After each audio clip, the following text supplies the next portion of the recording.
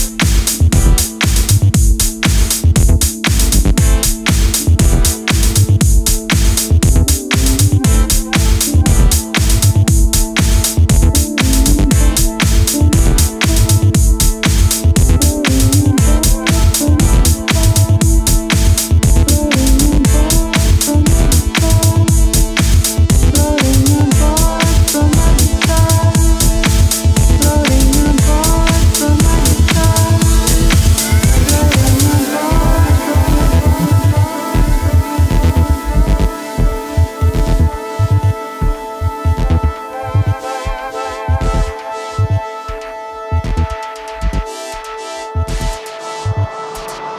floating on chords from my guitar.